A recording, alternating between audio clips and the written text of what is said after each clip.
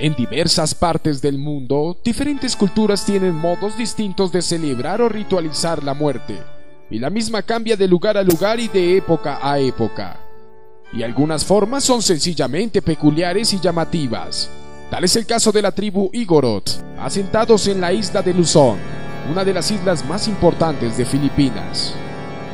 Los Igorotes, término que significa montaña, se encuentran conformados seis tribus, los Bontogs, los Ibalois, los Ifugaos, los Apayaos, los Kalingas y los Cancana Eis, y habitan en los abruptos y escarpados terrenos de la cordillera central de la isla de Luzón.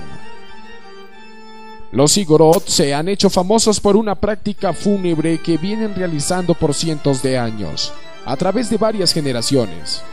Cuando un Igorot fallece, miembros de su tribu fabrican un improvisado ataúd de madera Introducen ahí al difunto y luego de un ritual fúnebre proceden a colgarlo de una de las paredes de los acantilados de las montañas.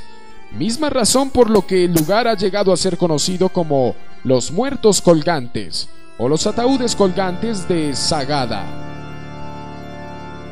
Los ataúdes en ocasiones son marcados con el nombre de la persona para que los miembros de la tribu sepan en qué ataúd se encuentra su miembro tribal. Para los Sigorot, dicho ritual fúnebre no es infundado, sino que piensan que a través de él los muertos se acercan a los espíritus ancestrales, además de disfrutar de la naturaleza y de los espíritus que habitan en ella.